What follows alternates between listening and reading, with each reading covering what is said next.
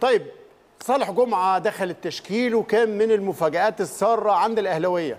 بعد طول غياب جدا لدرجة إنه بقى ترند لمجرد إنه دخل التشكيل وحس بقيمته عند الجماهير وحس بتعطش الجماهير إنه ياخد فرصته. هو هو المشكلة دايما في حجم التوقع. آه. فبرضه الجمهور متوقع إنه هيشوف صالح جمعة اللي في ذهنه. آه. لا محتاجة بعض الوقت يعني.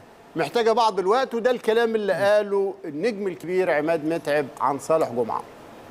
حط نفسك في الملعب آه. وانت اللي هتخرج نفسك بره. صحيح. لازم تبقى انت اللي عايز آه. لازم تبقى انت اللي موجود لازم تبقى انت اللي, اللي, اللي ملتزم. لازم تبقى انت اللي, اللي عايز الحتة دي. آه، يا كابتن شوبير صالح لو ركز في الحتة دي مش هيخرج منها. لو ركز ان هو لعيب أساسي وجاهز وبيفكر في الكورة مش هيخرج من الحتة دي لأن نعم. أنا أنا في جملة بس والله هقولها له يمكن قلتها قبل كده نعم. وكانت بتتقال لنا كل يوم يعني كابتن حسن حمدي كابتن طارق السليم الله نعم. يرحمه أيوة. كابتن خطيب في الاجتماعات على طول أي اجتماع قاعدين هنقول لكم حاجة واحدة بس نعم. أنت تقدر تعمل أي حاجة بعد الكورة نعم. إلا إنك ترجع تلعب كورة تاني صحيح. صحيح. فكنا خلاص إحنا حافظينها نعم. ما عرفتش قيمتها غير لما بطلت أنا نفسي أرجع ألعب كورة تاني مش قادر فيا صالح عندك الحياة كلها ربنا يديك الصحه بعد ما تبطل نعم ركز في الكورة لحد ما تبطل وبعد ما تبطل عيش حياتك زي ما انت عايز نعم. لأنك لو بطلت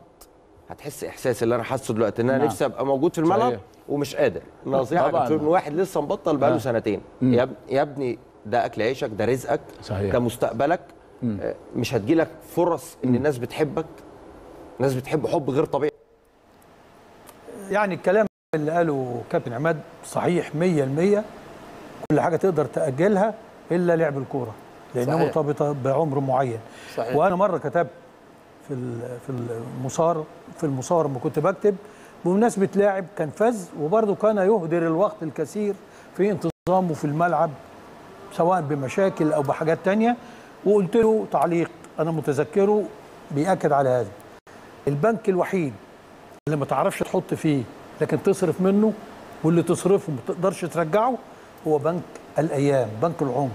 اليوم اللي. بيعدي مش هتعرف مش ترجعه. هتجيبه تاني. العب طول ما انت قادر تلعب.